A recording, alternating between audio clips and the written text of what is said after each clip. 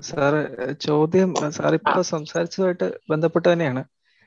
ഈ അതായത് വാർദ്ധക്യ കാലത്തെ കുറിച്ചായിട്ട് ബന്ധപ്പെട്ടാണ് ഇപ്പോ താവോയിസം പോലുള്ള സ്പിരിച്വൽ ആയിട്ടുള്ള എല്ലാ കൺസെപ്റ്റുകളിലും പറയുന്നുണ്ടല്ലോ നമ്മൾ യൂണിവേഴ്സൽ ആയിട്ടുള്ള ഒരു ട്രസ്റ്റ് അല്ലെങ്കിൽ ജീവിതത്തെ ഐ മീൻ പ്രകൃതിയെയും ഒക്കെ ദൈവത്തെയൊക്കെ ഉള്ള ഒരു വിശ്വാസവും അതുമായി ബന്ധപ്പെട്ടുള്ള ഒരു ജീവിതം. എല്ലാം അതിന്റെ സമയത്ത് നടത്തിക്കൊള്ളും. ഭാവിയെ കുറിച്ചൊരു ചിന്ത എന്ന് പറയുന്നത് ആവശ്യമില്ലാത്തതാണ്. അങ്ങനെ ഒരു വിശ്വാസം അത് വാർദ്ധക്യ ജീവിതവുമായിട്ട് ഞാനിങ്ങനെ കേട്ടിട്ടുണ്ട്.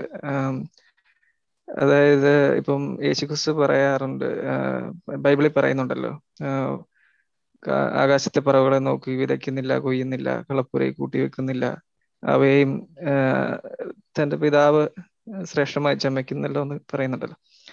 അപ്പൊ ഈ ഒരു കൺസെപ്റ്റ് സ്പിരിച്വാലിറ്റി ഞാൻ വളരെയധികം പല ഗുരുക്കന്മാരും സംസാരിച്ച് കേട്ടിട്ടുണ്ട്. ഓഷോക്ക് ഇതിനെപ്പറ്റി വളരെ സംസാരിക്കുന്നുണ്ട്. അപ്പൊ അല്ലാതെ മറ്റൊരു സൈഡിൽ വയസ്സായിട്ടുള്ള ഒരു ജീവിതം ഇപ്പം ഞാൻ കേൾക്കാറുള്ള ഒരു കാര്യമാണ് യൗവനത്തിൽ ഒരിക്കലെങ്കിലും വാർദ്ധക്യത്തെ കുറിച്ച് മനസ്സിലാക്കിയാൽ നിങ്ങൾ ഒരിക്കലും ഇങ്ങനെയായിരിക്കില്ല ജീവിക്കുക. വാർദ്ധക്യത്തിന്റെ അവസ്ഥ ആ സമയത്ത് അറിയത്തുള്ളൂ.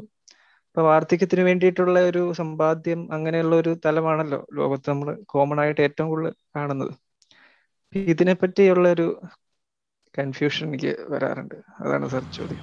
ഈ പിന്നെ നമ്മുടെ ആകാശത്തിലെ പറവകൾ വിതയ്ക്കുന്നില്ല കൊയ്യുന്നില്ല എന്ന് പറയുമ്പോൾ ഒന്നാമതായിട്ട് മനസ്സിലാക്കേണ്ടത് ആകാശത്തിലെ പറവുകൾ പ്രപഞ്ചവുമായിട്ട് വളരെ ഹാർമണൈസ്ഡ് ആണ്. പ്രകൃതിയുമായിട്ട് ഹാർമണൈസ്ഡ് ആണ്. അവർക്ക് ഒരിക്കലും ഈഗോ ഇല്ല. സ്വന്തമായിട്ടൊരു ഈഗോ ഇടയ്ക്ക് നിൽക്കുന്നില്ല.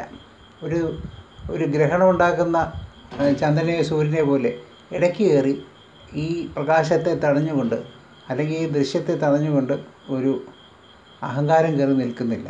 അങ്ങനെ ഒരു സാഹചര്യത്തിലാണ് അവർ വിതയ്ക്കാതെയും കൊയ്യാതെയും ഇരിക്കുന്നത്. അത് ഒന്നാമതായിട്ട് മനസ്സിലാക്കേണ്ട വിഷയമാണ്.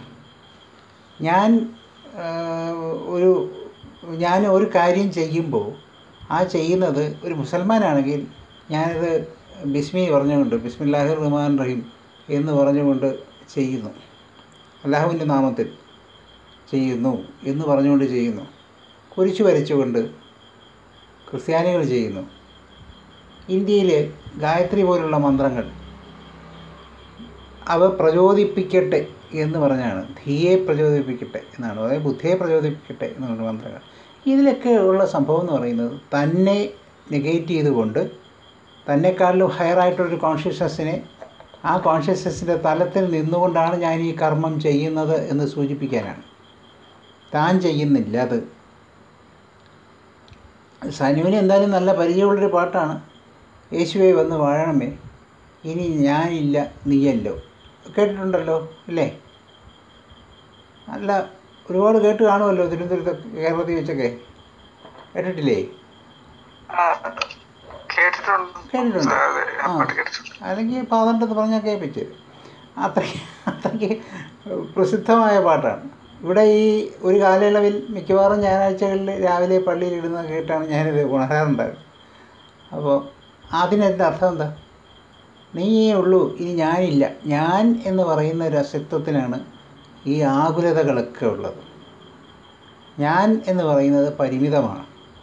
ഞാനെന്ന് പറയുന്നതിനെക്കുറിച്ച് എന്റെ എന്റെ സങ്കല്പം എന്റെ കണ്ട എന്റെ ഇപ്പോഴുള്ള തീരുമാനം എന്ന് പറയുന്നത് ഞാൻ ജനിച്ചത് മുതൽ മരിക്കുന്നവരെയുള്ളൊരു സമയം മാത്രമാണ്. എന്നാൽ ഞാൻ അതിന് മുമ്പ് ഉണ്ടായിരുന്നു മരണത്തിന് ശേഷവും കണ്ടിന്യൂ ഈ വ്യാപ്തി അറിഞ്ഞു കഴിഞ്ഞാൽ മാത്രമേ എന്റെ കഴിവെന്താണ് എന്റെ സാധ്യത എന്താണ് എന്റെ പരിമിതി എന്താണ് എന്റെ ക്ലിപ്തത എന്താണ് ഇതൊക്കെ അറിയാനുള്ള സാഹചര്യം ഉണ്ടാകുന്നുള്ളൂ അതറിയുന്നില്ല അപ്പോഴൊന്നും. അപ്പം നമ്മൾ ഈ പരിമിതമായിരിക്കുന്ന ഞാനിനെ വെച്ചുകൊണ്ട് ആലോചിച്ചുകൊണ്ടിരിക്കുമ്പോൾ തീർച്ചയായിട്ടും വിതയ്ക്കാനും കൊയ്യാനും ഒക്കെ പോയി പോവും. അതിൽ അത്ഭുതമില്ല. ആകാശത്തിലെ പറവുകൾ വിതയ്ക്കുന്നില്ല കൊയ്യുന്നില്ല എന്ന് പറ- പറയുമെങ്കിൽ ഈ പറയുന്നവർ അത് പിന്നെ പ്രഘോഷണം ചെയ്യുന്നവർ തന്നെ ഇഷ്ടംപോലെ വിതയ്ക്കുകയും കൊയ്യുകയും ചെയ്തുകൊണ്ടിരിക്കുകയാണെന്ന് ഞാൻ പറയാതെ തന്നെ സനുവിന് അറിയാമായിരിക്കുമല്ലോ. അതവിടെ അപഹാസ്യമായ കാര്യമാണ്. ആകാശത്തിലെ പറവുകൾ എന്ന് പറഞ്ഞൊരു ഒരു ഒരു സംഘം ഒരു ചാരിറ്റി സംഘം ഒരു അച്ഛന്റെ നേതൃത്വത്തിൽ ഉണ്ടായിരുന്നു അദ്ദേഹം കാലം ചെയ്തു എന്നാണ് എനിക്ക് തോന്നുന്നത്. അദ്ദേഹത്തിന്റെ സംഘത്തിൽ അന്നദാനമാണ് ഉദ്ദേശം. അവർ അതാത് ദിവസങ്ങളിൽ മാത്രമേ സംഭരിക്കുകയുള്ളൂ. അല്ലാതെ സൂക്ഷിച്ചു വയ്ക്കില്ല. ഒരു കാര്യം പോലും അവർ തലേ അടുത്ത ദിവസത്തേക്ക് ധനമോ അല്ലെങ്കിൽ ധാന്യങ്ങളോ സൂക്ഷിച്ചു വയ്ക്കില്ല. അന്ന് രാവിലെ ഇല്ലെങ്കിൽ അവിടെ ഒരു ബോർഡ് വയ്ക്കും. ഇല്ലയെന്ന് എവിടെന്നെങ്കിലും ഫുഡ് ധാന്യങ്ങൾ വന്ന് ചേരുന്നു എന്നാണ് പറയുന്നത്. അല്ലെങ്കിൽ ധാനം വന്ന് ചേരുന്നു എന്നാണ്. അതെടുത്ത് കൊടുക്കുക പറഞ്ഞു. മാസ്മരികമായിരിക്കുന്നൊരു വിശ്വാസവും അനുഭവം ഉണ്ടായിരുന്ന ഒരു ഒരു ഒരു പാതിരിയായിരുന്നു അദ്ദേഹം. അദ്ദേഹം ഉണ്ടോ ഇല്ലയോ എന്ന് എനിക്ക് ചെറിയ സംശയമുണ്ട്. അപ്പോൾ അദ്ദേഹം ഞാൻ ഞങ്ങൾ വിവേകാനന്ദ സെന്ററിയുമായിട്ട് ബന്ധപ്പെട്ട വിവേകാനന്ദ നൂറ്റമ്പത് വർഷത്തെ ഇതുമായിട്ട് ബന്ധപ്പെട്ട കുറേ സെമിനാറുകൾ സംഘടിപ്പിക്കാൻ വേണ്ടി വടക്കേ മലബാറിലെ രാമകൃഷ്ണ മിഷന് വേണ്ടി പോയപ്പോൾ ആണ് ഇത് അറിഞ്ഞത്. എനിക്കത് പോയി കാണണമെന്ന് ആഗ്രഹം ഉണ്ടായിരുന്നു കാണാൻ പറ്റിയിട്ടില്ല. അദ്ദേഹം വളരെ സാഹസികമായിരിക്കുന്ന പ്രവർത്തനങ്ങൾ രീതിയിൽ സാഹസികത ഉണ്ടെങ്കിൽ പിന്നെ പലതിലും സാഹസികത ഉണ്ടാവും ഉണ്ടാവുമല്ലോ. കുറേ ആൾക്കാരെ വിളിച്ച് കയറ്റി ആഹാരം കൊടുക്കാൻ വേണ്ടി ഏൽക്കുക. ഇവിടെ ഇപ്പോൾ അതൊന്നും അല്ലല്ലോ. നമ്മളിപ്പോൾ ഒരു ചെറിയൊരു അന്നദാനം കൊടുക്കുന്നു എന്നുണ്ടെങ്കിൽ നമുക്ക് ആദ്യം മുഴുവൻ പൈസ കിട്ടാൻ വേണ്ടിയാണ്. വളരെ പ്രഖ്യാപിതരായ ഗുരുക്കന്മാർ പോലും അവരിപ്പോൾ കോവിഡിന് വേണ്ടി പൈസ പിരിച്ചു തുടങ്ങി. അവരുടെ സഞ്ചയം അവർ പിരിച്ചുകൊണ്ട് ഫുഡ് കൊടുത്തുകൊണ്ടിരിക്കുകയാണ് നിങ്ങൾക്ക് പറ്റുമെങ്കിൽ നിങ്ങൾക്ക് ജോയിൻ ചെയ്യാം. ആ ജോയിൻ ചെയ്യുന്നതിന്റെ മേന്മ അതുവഴിയുള്ള പുണ്യം എന്നൊക്കെ പറഞ്ഞ് പല കാര്യങ്ങളും പറഞ്ഞ് അതിന്റെ പേരിൽ പൈസ പിരിച്ചില്ല അപ്പോൾ അത് എല്ലാവരും കൊതു വിതയ്ക്കുകയും കൊയ്യുന്നതും ഒക്കെ ഉണ്ട്. പക്ഷെ പറയുമ്പോൾ വിതയ്ക്കരുത് കൊയ്യരുത്. നമുക്ക് പറയാവുന്ന ഒരു ഒരു ഒരു സാക്ഷ്യം ആയിരുന്നു ഞാൻ ഈ പറഞ്ഞ സംഘം. അവർ അന്നേക്ക് വേണ്ടി മാത്രം സൂക്ഷിക്കുക. ഒരു കാശ് പോലും രാത്രി സൂക്ഷിക്കില്ല. അടുത്ത ദിവസം ആദ്യമേ തുടങ്ങും അപ്പോൾ എനിക്കത് വളരെ ഇഷ്ടമായിട്ട് തോന്നിയതിന് കാരണം എന്ന് വെച്ചാൽ ശ്രദ്ധയിലെ സായിബാബ അങ്ങനെയായിരുന്നു എന്നാണ് പറയുന്നത്. രാത്രിയാകുമ്പോൾ എല്ലാം അവിടെ വരുന്ന പൈസ മുഴുവൻ കൊടുത്ത് തീർത്തിട്ട് ഒരു ഇഷ്ടിക എടുത്ത് തലയിൽ വെച്ച് കിടന്നുറങ്ങുമായിരുന്നു. അടുത്ത ദിവസം രാവിലെ വീണ്ടും ആരംഭിക്കുന്നു. ആ ദർബാറിൽ വന്ന് പലതരം പാട്ടുകാർ നൃത്തക്കാർ മാജിക്കുകാർ പിന്നെ പലതരത്തിലുള്ള പ്രകടനക്കാരെല്ലാം വന്ന് കളിച്ച് കാശ് വാങ്ങിച്ചുകൊണ്ട് പോകും. അത് അവർക്കറിയാം അവിടുത്തെ ഫക്കീർ പൈസ കൊടുക്കുന്ന ആളാണ്. അത് കൊടുക്കുന്നത് വലിയ വലിയ തുകകളാണ്. അതുകൊണ്ട് ഇഷ്ടംപോലെ ആൾക്കാർ വന്ന് കയറുന്നൊരു സാഹചര്യം ഉണ്ടായിരുന്നു. പക്ഷേ രാത്രി അപ്പോൾ അങ്ങനെ വന്നപ്പം ബ്രിട്ടീഷ് സർക്കാർ ഇദ്ദേഹത്തിനാണ് ഏറ്റവും കൂടുതൽ വരുമാനമുള്ളതെന്ന് പറഞ്ഞ് കരം പിരിക്കാൻ വേണ്ടി അദ്ദേഹത്തെ പല പ്രാവശ്യം അന്വേഷിച്ച് പോകുമ്പോൾ അവിടെ രാത്രി ഒന്നുമില്ല. ഒരു പൈസ പോലുമില്ല വേറെ ഒരു ചാക്കിൽ കിടന്നുറങ്ങുന്നു ഇതാണ്. അപ്പം രാജാവായിട്ടിരിക്കുന്നതിനും യാചകനായിട്ടിരിക്കുന്നതിനും ഒരേ ശരീരം തന്നെ ഉപയോഗിച്ചുകൊണ്ടിരിക്കുന്നു എന്ന് ആലോചിച്ചോണം ഇതുപോലെ സാധിക്കുന്നതിനെയാണ് ആകാശത്തിലെ പറവുകൾ വിതയ്ക്കുന്നില്ല കൊയ്യുന്നില്ല എന്ന് പറഞ്ഞത്. യേശുക്രിസ്തു നമ്മോട് പറഞ്ഞ പല കാര്യങ്ങളും ഏറ്റവും ഐഡിയലായിട്ടുള്ള സിറ്റുവേഷനുകളിൽ നമ്മൾ എത്തിച്ചേരണം എന്ന് അദ്ദേഹം ആഗ്രഹിക്കുന്നതാണ്. അത് നിസ്സാരമായിട്ട് കാണരുത്. അത് ആഗ്രഹിക്കുക. നമ്മൾ ക്രിസ്തുവിന്റെ പാതയിലാണ്. ക്രിസ്തുവിന്റെ പാതയിലാണ് എന്ന് നമുക്ക് തോന്നുകയാണെങ്കിൽ Recording stopped. Recording in progress. ക്രിസ്തുവിന്റെ പാതയിലാണെന്ന് നമുക്ക് തോന്നുകയാണെങ്കിൽ നമ്മൾ ആ നിലവാരത്തിൽ എത്തിച്ചേർന്നേക്കുള്ളൂ ഇല്ലെങ്കിൽ പറ്റില്ല അതാണ് അടുത്ത പ്രശ്നം അപ്പോൾ അങ്ങനെ ഈ ഞാൻ എന്തുകൊണ്ട് ഇത്രയും പറഞ്ഞതെന്ന് വെച്ചാൽ ആകാശത്തിന്റെ പറവുകൾ വിതയ്ക്കുന്നില്ല കൊയ്യുന്നില്ല എന്നെടുത്ത് ഇവിടെ അപ്ലൈ ചെയ്തപ്പോൾ അത് കാരണം ആരെങ്കിലും അവനവന്റെ കാര്യത്തിന് വേണ്ടി സമ്പാദിക്കാതിരിക്കാൻ പോകുന്നു എന്ന് തെറ്റിദ്ധരിക്കരുത്.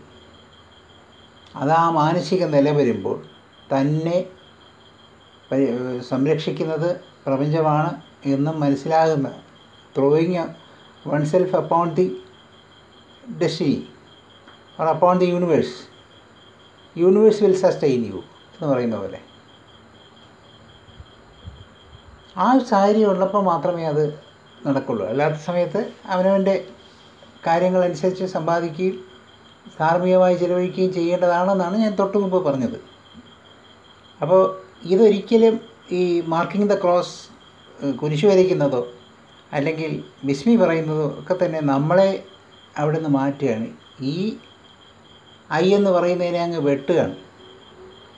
ഐയെ കുറുക്കെ അങ്ങ് വെട്ടുകയാണ്. ഐയെ നെഗറ്റ് ചെയ്യുന്നു. ആ നെഗറ്റ് ചെയ്യുന്നതാണ് ഇവിടെ വന്നിരിക്കുന്നത്.